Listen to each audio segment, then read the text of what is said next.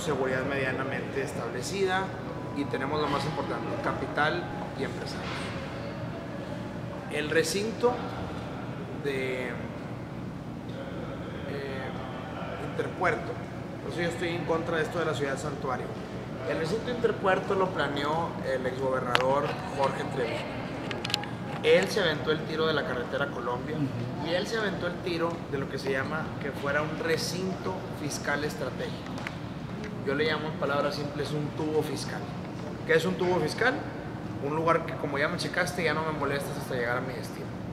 Entonces la idea que tuvimos era que el Valle de las Salinas que se estaba desarrollando, donde ya tengo dos anillos periféricos para el transporte y, alcanza un tercer anillo periférico, que podría ir desde pesquería hasta García literalmente.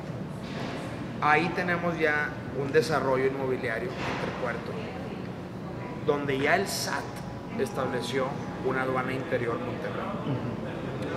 Si, si, pudiéramos unir, eh, aparte del transporte de carga, que Nuevo León es el número uno del país, nada más volten a ver Allende cómo está lleno de, de líneas. Si pudiéramos unir el interpuerto con el aeropuerto del norte, que es privado, pero en un año termina su... Con el aeropuerto OMA agregando una, una línea más, tienes ya la capacidad que iba a dar Texcoco en cuanto a aeropuertos de carga y de pasajeros. Si a eso le sumamos que hay un proyecto que hubo con el diputado Henry Cuellar de Laredo, donde ya Estados Unidos tiene todos los estudios de un tren que inclusive llegaba hasta Oklahoma. Pero ahorita no quiero ser tan ambicioso.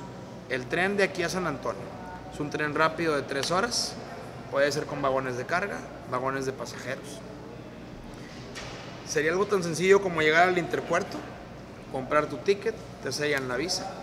Si eres empresario, llegar al interpuerto, presentar el pedimento, te suben la carga y no te vuelven a molestar hasta estar en San Antonio. Esos son los proyectos de altura que yo quisiera ver en Nuevo León. Pero son proyectos que se tienen que planear a 10 años, a 15 años, brincan sexenios. Y luego, con esos proyectos decir, Hacienda, ahora sí ya estuvo. Ya no soy tu piñata. O me das para que estos proyectos salgan, o me salgo el pacto. Ya peor no puede estar Nuevo León. O sea, ya el que me regrese es tan solo el 17%. Ya estoy en una crisis que prefiero arriesgarme y salirme porque va a seguir igual la cosa. No hay obra, no la hay, no hay proyectos. Entonces yo estoy convencido que con estas grandes, con esta gran visión y proyectos de infraestructura, porque luego va a faltar el gran plan hídrico, el plan energético, el plan del aire, pero por lo pronto en cuanto a infraestructura se refiere, sí puede haber un consenso en Nuevo León de decir, ya estuvo, sálgase del pacto, póngase a construir, hágame mi aeropuerto, hágame mi logística y transporte y volver a ser el Nuevo León hace 30 años. ¿Qué este le proyecto... falta al gobierno del estado para pues trabajar en ello? Tiene todo. Bueno, le falta lo más importante, liderazgo.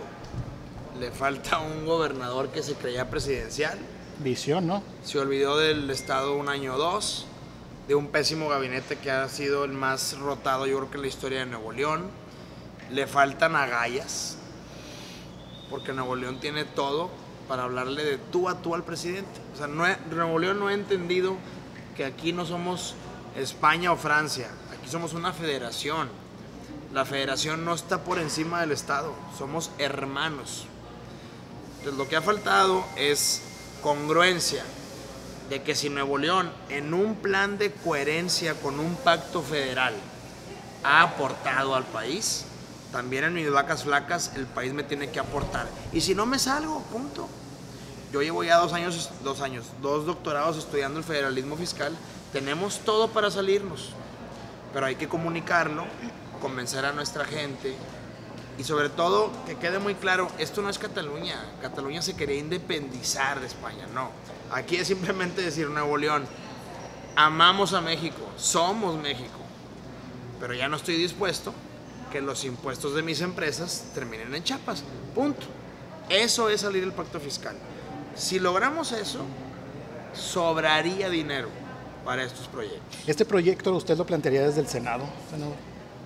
yo lo estoy planteando hoy en día, eh, ahora sí que como un senador que me preocupa que en mi estado no hay lana. Un senador que quiere destituir al Bronco, porque ya perdimos cuatro años, no quiero perder seis.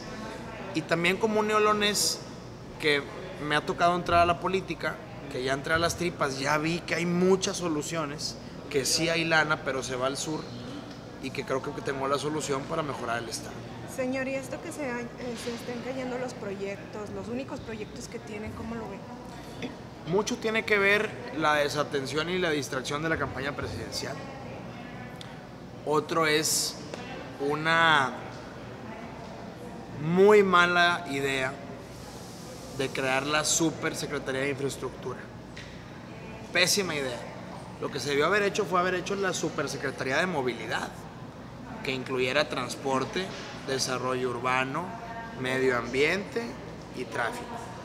Pero no, creamos una super secretaría que se encarga de licitar todo y que no tiene manos para desahogar el 60% del presupuesto.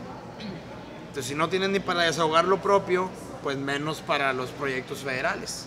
Entonces, hoy está saturada, no tiene proyectos, está en su ejercicio, no presentan los proyectos de interconexión, no han comprado la tierra de Matamoros, no renovaron el contrato del IMSS, el hospital en García. O sea, estamos ahora sí que en el peor de los mundos. Por eso yo le digo al PRI y al PAN, ¿qué esperan para destituirlo?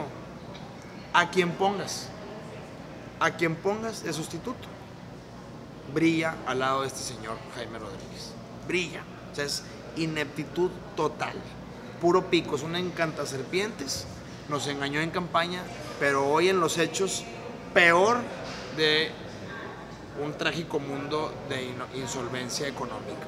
Perfecto, muy bien. En otros temas, senador, sobre esta idea, bueno, el planteamiento que hizo Marcelo Ebrard esta mañana sobre que la Fiscalía General de la República quiere involucrarse a ver si no hay más personas involucradas en el tiroteo del paso, del mol del paso. Híjole, este tenemos que ser muy realistas entre lo posible y lo deseable.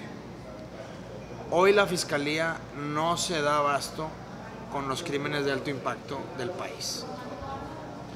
No tienes nada que estar haciendo en otro país y mucho menos en una en una tragedia que le compete a Estados Unidos y únicamente a Estados Unidos.